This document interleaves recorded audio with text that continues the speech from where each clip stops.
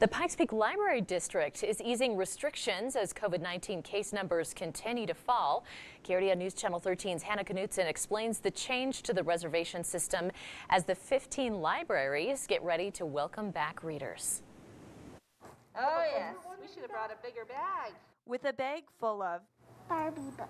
Four-year-old Abigail was happy to be back at the library. I found a superhero one, one that's about Batman.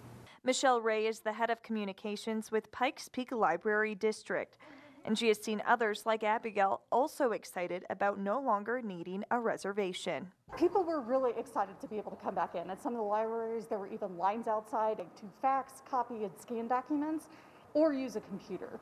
But now, with our reopening as we are, people can come in without a reservation.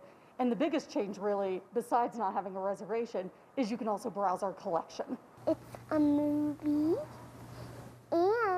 a birthday party one. With sections of the library taped off, the library is continuing to seek guidance from health officials on how to safely operate.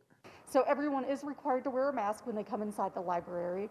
We also have capacity limits so we can control the number of people inside each library. When people come to the library and use a computer or say our fax, copy, or scan machines, we do sanitize them between each use. And once you return your book, they'll be put into these bins and quarantined for one day or more before going back onto the shelf. So no matter if you are retired or About to be in kindergarten. You are sure to find a book you will enjoy at a Pikes Peak library. And that's Catwoman stealing jewels. In Colorado Springs, Hannah Knudsen, KRDO News Channel 13. Oh, so sweet. Well, this weekend only, if you have a Pikes Peak Library District card, you can receive a discount on admission to the U.S. Olympic and Paralympic Museum.